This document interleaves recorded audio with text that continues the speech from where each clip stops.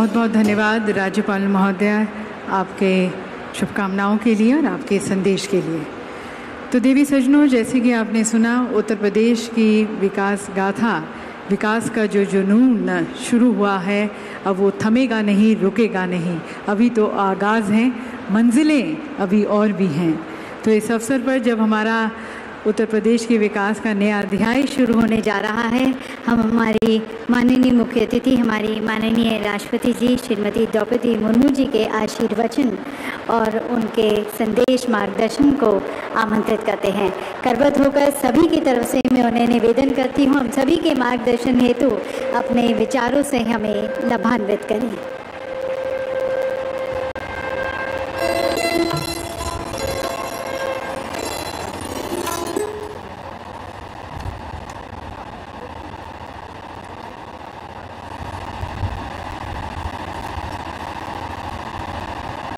उत्तर Pradesh global investor में summit 2023 में उपस्थित उत्तर प्रदेश की राज्यपाल श्रीमती आनंदबेन पटेल जी, आदरणीय मुख्यमंत्री योगी आदित्यनाथ जी उप मुख्यमंत्री श्री केशव प्रसाद मौर्य जी उप मुख्यमंत्री श्री ब्रजेश पाठक जी, उत्तर प्रदेश सरकार में औद्योगिक विकास मंत्री श्री नंदगोपाल गुप्ता नंदी जी औद्योगिक विकास और संसदीय कार्य राज्य मंत्री Shri Jaswant Singh Joshi ji investor from India and abroad गणमान्य अतिथियों, देवियों और स्वजन।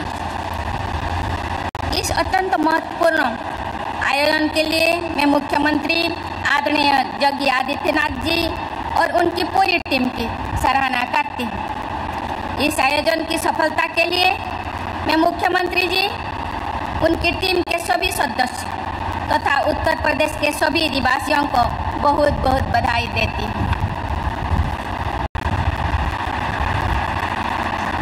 मुझे बताया गया है कि वर्ष 2018 में आयोजित उत्तर प्रदेश इन्वेस्टर समिट के परिणाम स्वरूप राज्यों में भारी मात्रा में निवेश बढ़ा। इस सफलता के लिए मैं राज्य सरकार को बधाई देती हूँ। राज्य की महत्वाकांक्षी सोच के अनुरूप पिछले इन्वेस्टर समिट की सफलता के आधार पर एक ग्लोबल इन्वेस्टर समिट और अधिक बड़े पैमाने पर आयोजित किया जा रहा है। मुझे बताया गया है कि इस समिट का आयोजन करने के लिए लगभग सभी महादेशों के 16 देशों से संपर्क किया गया तथा विश्व भर में फैले 21 महानगर में निवेशकों के साथ विचार विमर्श किया गया। इस प्रकार ये समिट सही अर्थ में निवेशों का एक महाकुंभ है। प्रयागराज में वर्ष 2019 के कुंभ के शानदार आयोजन के लिए मुख्यमंत्री जी की और उनकी टीम की पूरी विश्व में प्रशंसा होती है। इसी प्रकार, निवेशकों के इस कुंभ को भी असाधारण सफलता के साथ साथ विश्वव्यापी ख्याति मिले ये मेरी मंगल कामना है मुझे बहुत प्रसन्नता का अनुभव हो रहा है कि उत्तर प्रदेश की मेरी ये यात्रा राज्यों के विकास के इस महापर्व के अवसर पर हो रही है ladies and gentleman I am very happy to know that investor from other countries have demonstrated keen interest in the sound investment opportunities available in Uttar Pradesh. On behalf of 1.4 billion people of India and 250 million residents of Uttar Pradesh, I convey a very warm appreciation to all the participants who have came here from the partner countries.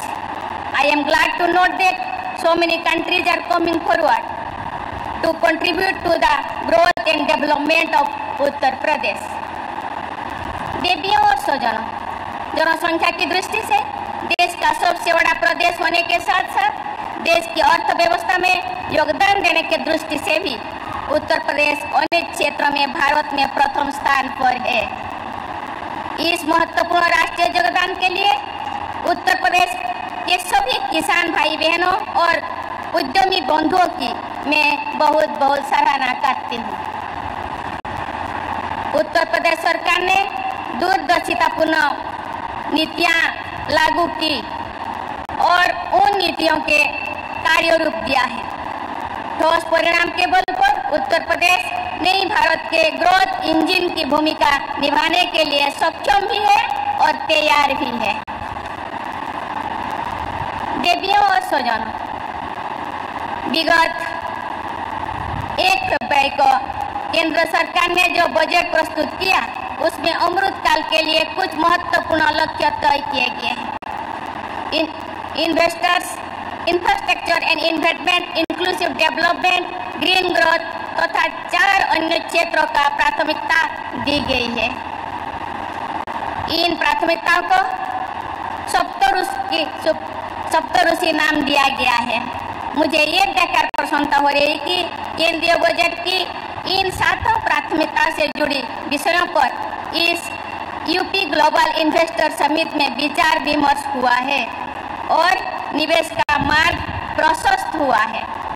मुझे पूरा विश्वास है कि देश के विकास के अमृत काल में उत्तर प्रदेश का योगदान अत्यंत महत्वपूर्ण होगा। देवियों और स्वजनों, उत्तर प्रदेश की धरती अन्नपूर्णा है। यहाँ के किसान भाई बहन हमारा अन्नदाता है। गेहूँ सहित खाद्यान्नों के कुल उत्पादन में उत्तर प्रदेश, भारत में पहले स्थान पर है। गन्ना और आलू के उत्पादन में भी उत्तर प्रदेश का देश भर में प्रथम स्थान निभाए हैं। आम और मटर के उत्पादन में भी उत्तर प्रदेश का योगदान सबसे अधिक है। इसी प्रकार दूध के उत्पादन में भी उत्तर प्रदेश, भारत में सबसे आगे है। कृषि उत्पादकों से समृद्ध होने के कारण राज्य में कृषि पर आधारित उद्यमों के लिए बहुत अधिक संभावनाएँ हैं। मुझे बताया गया है कि इस इन्वेस्टर समिट में leveraging food basket of India, opportunity for food processing पर विशेष सत्र आयोजित किया गया है। हाल ही में उत्तर प्रदेश सरकार द्वारा लागू की गई फ़ूड प्रोसेसिंग पॉलिसी 2023 की सहायता से राज्य के खाद्य प्रसंस्करण उद्योग में विशेष प्रोत्साहित मिलता है।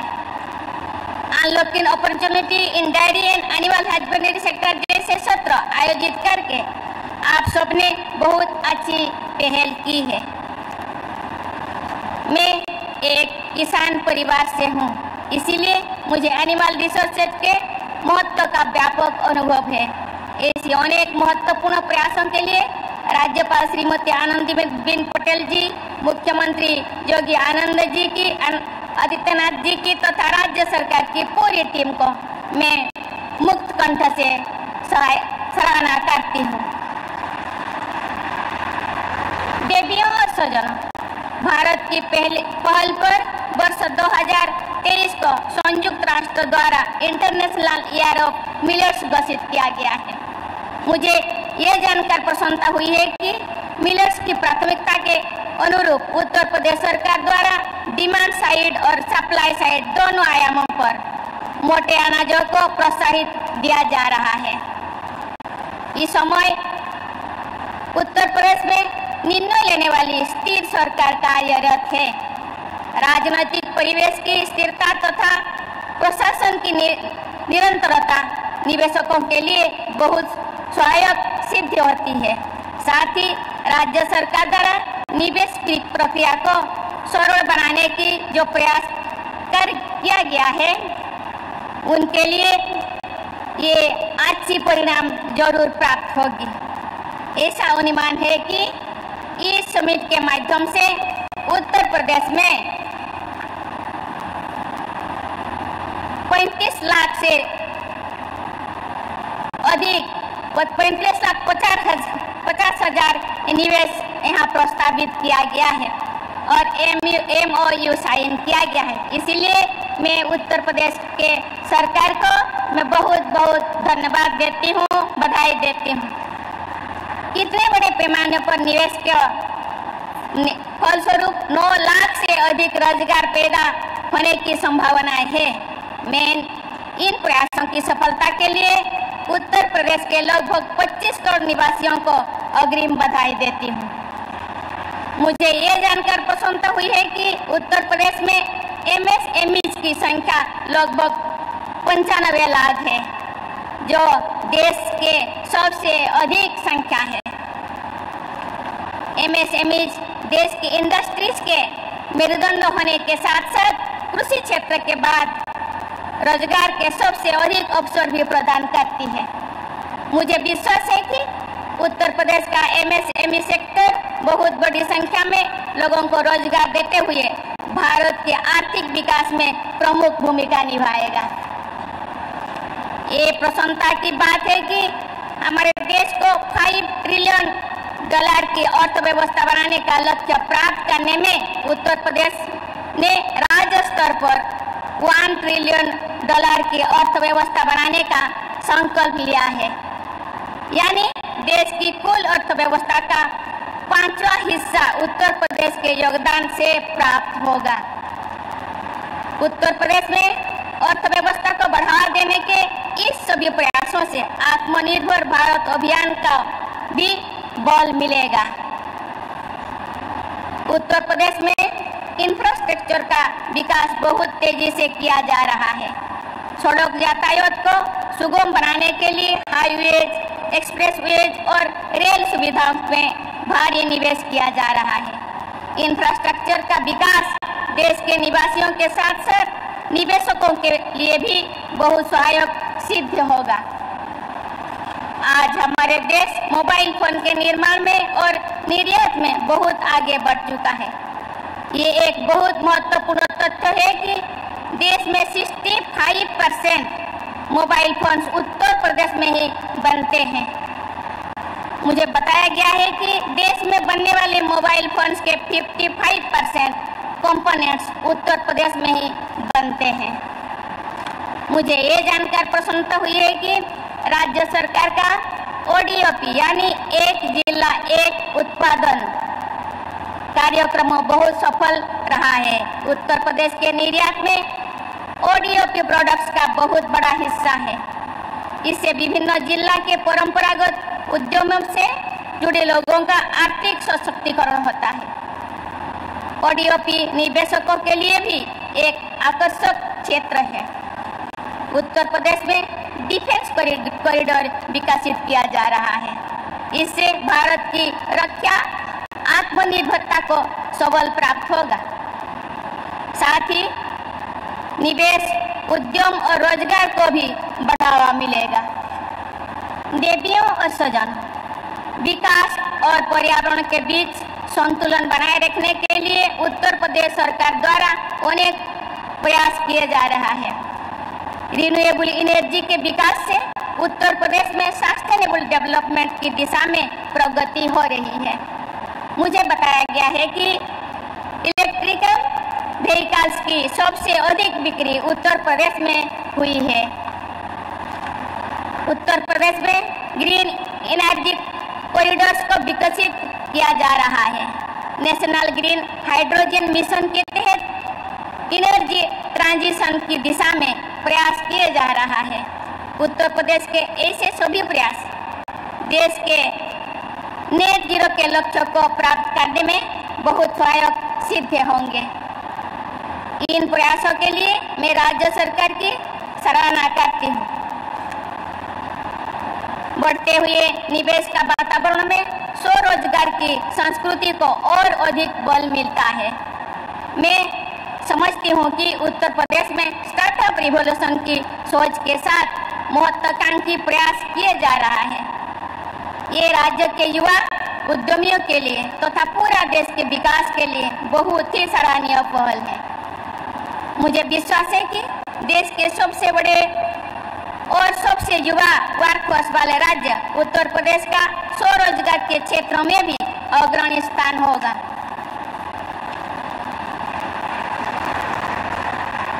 मुझे ये जानकर प्रसन्नता हुई है कि इस समिट से विकास के सामाजिक आयामों पर भी समग्र रूप से विचार किया गया है। Affirmative action policies for inclusive growth इस क्षेत्रों पर मेरा ध्यान गया है। निवेश और आर्थिक विकास की प्रक्रिया समावेशी हो। ये सोच इस इन्वेस्टर समिट के परिणामों को और भी सार्थक बनाएँगे। मुझे ये जानकर विशेष प्रसन्नता हुई है कि इस इन्वेस्टर समिट के ग्लोबल ट्रेड शो में वुमेन इंटरप्रियर्स और महिला शिल्पकारों को विशेष स्थान दिया गया है। जिस समाज के या जिस प्रदेश में महिला उद्यमियों को प्रोत्साहित किया जाता है, उसका विकास सुनिश्चित होता है। महिला उद्यमियों को विशेष पेंशन दिलाने की, राज्य सरकार की पहल की मैं हृदय से सराहना करती हूँ। हम सब जानते हैं भारत में आधा आबादी महिलाएँ हैं। उनका विकास, उनका आर्थिक, सामाजिक, आध्यात्मिक विकास नहीं होने से देश का विकास असंभव है। इसीलिए आर्थिक, सामाजिक, शैक्षणिक एवं आध्यात्मिक विकास बहुत ज़रूरी है। इस दिशा में उत्तर प्रदेश सरकार प्रयास कर रहे हैं, इसलिए मैं उनको बहुत बहुत बधाई देती हूँ, धन्यवाद देते हैं। देवियों और स्वजनों शिक्षा के द्वारा व्यक्तिगत और सामाजिक उन्नति के रास्ते खुलते हैं। राष्ट्रीय शिक्षा नीति 2020 में भारत को नॉलेज सुपर पावर बनाने की महत्वाकांक्षा के साथ अनेक प्रयास किए जा रहे हैं। भारत की विरासत से युवाओं को जोड़ते हुए उन्हें इक्कीसवीं सदी की चुनौतियों के लिए तैयार करना राष्ट्रीय शिक्षा नीति का प्रमुख उद्देश्य है। मुझे विश्वास है कि इस उम्मीद में राष्ट्रीय शिक्षा नीति पर जो चर्चा परिचर्चा हुई है, उनसे शिक्षा और निवेश दोनों का बढ़ावा मिलेगा। शिक्षा और निवेश के संगम से देश की सबसे बड़ी युवा आबादी वाले इस राज्य में परिवर्तनकारी प्रगति ज़रूर होगी। उत्तर प्रदेश को प्रीफेड इन्वेस्टमेंट डेस्टिनेशन बनाने के प्रयास की जितनी भी सराहना की जाए वो कम है? मुझे पूरा विश्वास है कि उत्तर प्रदेश को उत्तम निवेश प्रदेश के रूप में विश्व स्तर पर प्रसिद्ध प्राप्त होगी। उत्तर प्रदेश और अधिक समृद्धि होगा तो भारत की भी अधिक समृद्धि होगा। उत्तर प्रदेश के निवासियों और सभी देशवासियों के स्वर्णिम भविष्य के प्रति दृढ़ विश्वास व्यक्त करते हुए मैं अपनी वाणी को विराम देती हूँ। धन्यवाद। जय हिंद, जय भारत, जय उत्तर प्रदेश।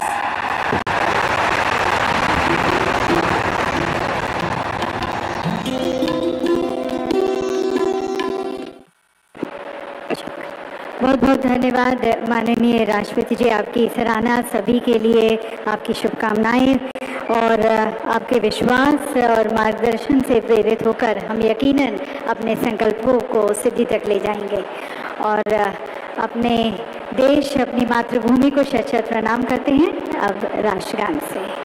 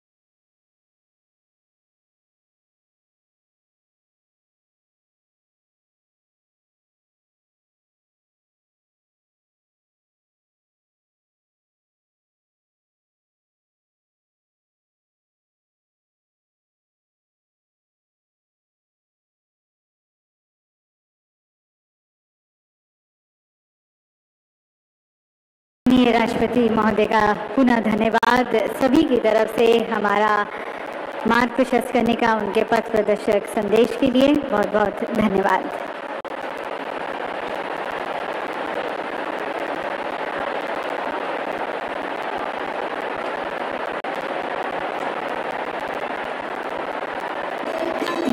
आप सभी से निवेदन है, आप अपने स्थान पर ही बने रहें। थोड़ी देर के लिए और अपने स्थान पर बने रहें प्लीज़